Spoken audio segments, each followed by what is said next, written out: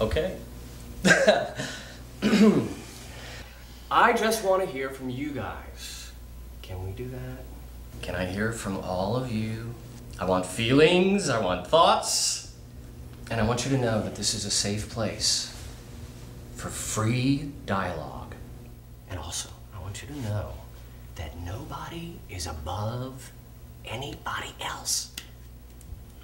We are one organism working together cohesively. We are a breathing thing, and we're able to accomplish anything that we want to do because we are working with synergy. Organic, solar, non synthetic synergy. What exactly is synthetic, non synthetic energy?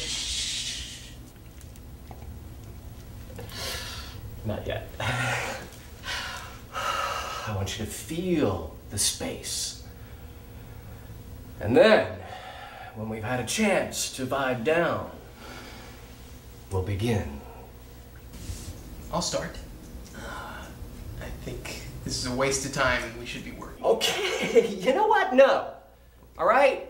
I'm feeling a little negative energy from here, Michael. And see, we don't need that.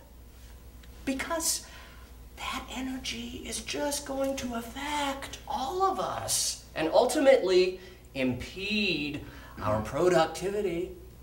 You know, what I think is affecting our productivity is the fact that we're sitting in a circle like a bunch of morons. What are you doing? Blowing that energy out of here because we don't need that here.